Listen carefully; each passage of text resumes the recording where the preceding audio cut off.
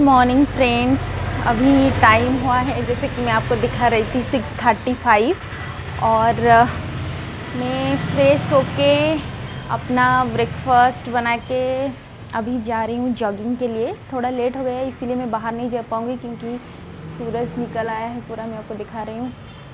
तो अभी नहीं जा सकती मैं जॉगिंग के लिए बाहर तो छत के ऊपर थोड़ा जॉगिंग करूँगी और थोड़ा सा एक्सरसाइजिंग करूँगी। उसके बाद नहा के इंस्टीट्यूट के लिए जाऊँगी और आज मैं लंच बॉक्स नहीं लूँगी क्योंकि आज मैं जा रही हूँ एमेचर लंच करने के लिए।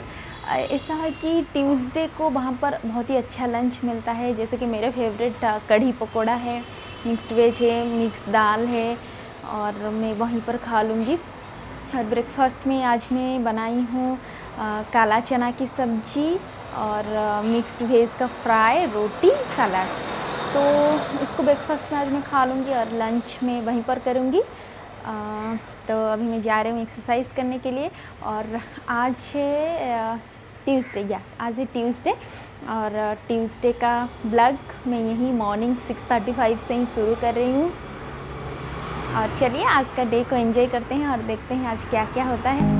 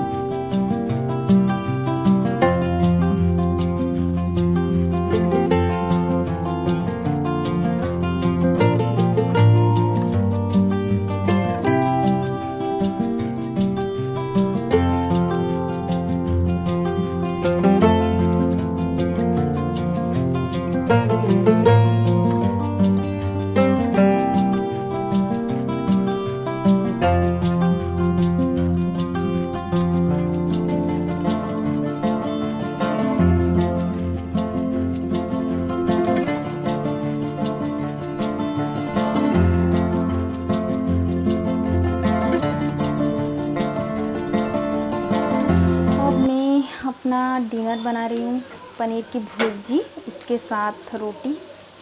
अभी इसको डाले हैं तो ये टाइम लगेगा थोड़ा, और so by the time I will make the rotis so अभी मेरा पनीर का भुर्जी बिल्कुल रेडी है, जैसे कि आप देख सकते हैं। और मैंने रोटी भी बना लिया है। और ये मेरा रोटी भी बन चुका है पूरा। तो डिनर बनाने के बाद अभी मतलब इंस्टीट्यूट से मैं आई, फिर हम लोग गोलगप्पे खाए। उसके बाद में थोड़ी देर के लिए मार्केट चली गई थी मतलब हाफ़ एन आवर के लिए। और उसके बाद आके मैं डिनर बना रही थी और मेरे एक रेसिपी का वीडियो भी शूट की। और अभी मैं आप लोगों के साथ कुछ चीज़ शेयर करना चाहूँगी, जैसे मैं कुछ दिखाना चाहूँगी। तो चलिए देखते हैं क्या है वो चीज़। तो आज मैंने पर्पल से ये सारी चीज़ ऑर्डर किए हैं। तो एक एक करके मैं आपको बता देती हूँ क्या क्या है। ये है बायोटिक का काजल, एक। और ये मैं फाउंडेशन को क्लियर करने के लिए फेस पे ये ब्रश ऑर्डर की हूँ। इसके साथ ये गुड वाइब्स का कोकोनट ऑयल और स्टेक वेरी का सीसी क्रीम उसके साथ ये भेगा का एक काजल और उसके साथ ये ब्रश जो कि फ्री में मिला है। तो दो काजल, एक ऑयल एक क्रीम एक ब्रश और ये हेयर ब्रश वूश के साथ फ्री है। तो वही मैं आपको दिखाना चाहती थी कि मैं क्या क्या पर्पल से ऑर्डर की हूँ और ये सब का लिंक भी मैं डिस्क्रिप्शन बॉक्स में डाल दूँगी। अगर आप ख़रीदना चाहें तो ख़रीद सकते हैं। और ये जो काजल है बायोटिक का, ये आयुर्वेदिक है। मतलब इसके साथ सारे ऑयल से बादाम का तेल व्हाट इज़ दिस हरर फ्रूट मुलते ही रूट कपूर ऑयल अंजन पाउडर काजल पाउडर तो इसीलिए मैं दो काजल ही ऑर्डर की हूँ, एक आयुर्वेद का और एक भेगा का। इसमें वही आप लोग को दिखाना चाहती थी। तो अभी मैं आपको एक टिप्स बताने वाली हूँ। जैसे कि जिन लोगों का पिंपल्स आते हैं या कुछ मार्क्स आते हैं फेस में उन लोगों के लिए, कोई भी ऑयल मतलब कोकोनट ऑयल गुड वाइब्स का कोई भी ऑयल आप ले सकते हैं। उसके साथ एक मैं ऑर्डर की थी पहले गुड वाइब्स का टी ट्री का एसेंशियल ऑयल तो कोई भी कैरियर ऑयल गुड वाइब्स का उसके साथ आप two two three drops of tea tree का ऑयल मिक्स करके अफेक्टेड एरिया पे लगा सकते हैं। जैसे कि मैं बस थोड़ा ही नहीं हूँ, आपको दिखा रही हूँ कोकोनट ऑयल जो कि आज मैं पर्पल से मंगाई थी। उसके साथ अभी मैं ऐड करूँगी टी ट्रिक का एसेंशियल ऑयल और उसको अपने अफेक्टेड एरिया पे अप्लाई करूँगी।